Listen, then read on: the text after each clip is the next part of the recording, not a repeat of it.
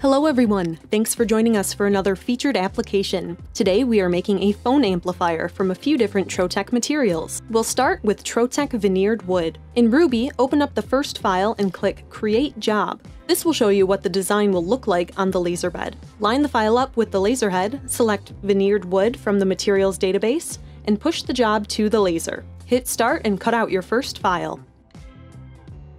In this application, we use Trotec veneered wood, TroLase Thins, and Troglass Satin. You can find all of these materials and more at the link below. Now we'll run the next file on our TroLase Thins. This is a brushed aluminum finish with an adhesive backing. Similar to the first file, we will select the file and the material before pushing it to the laser. We ran all of these materials on our Speedy 400 120 watt laser.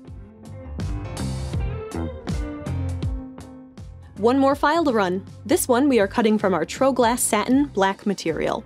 You can find all of the different Trotec materials in the Ruby Materials database, making laser processing simpler and faster.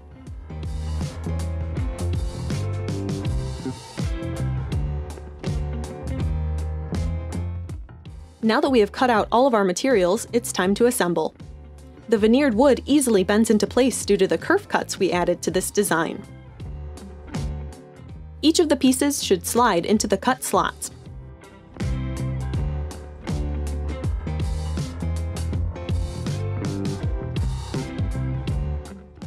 Remove the film from the TroLase and adhere the material to each of the sides.